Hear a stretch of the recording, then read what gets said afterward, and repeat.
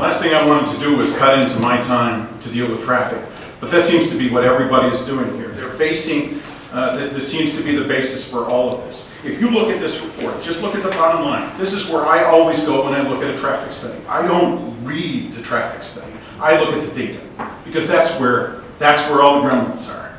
Right here, the things that I've circled are dealing with the legs of, of, uh, of, of the intersection that are specific to Folly Field. And you will see that every one of them, the level of service is E or F. Every one.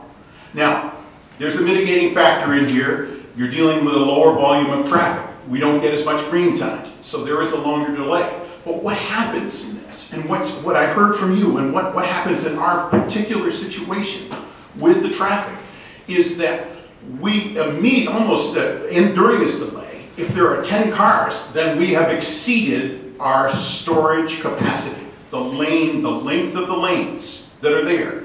Once that happens, the three lanes become one. And that means that all people trying to access that one lane now back up into a single file lane that often goes down all the way to beach and tennis and even beyond. I've seen it go beyond.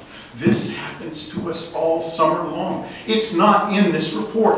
What they are giving you in this report only deals with the overall of the intersection. It doesn't tell you the specifics that are relevant to Folly Field.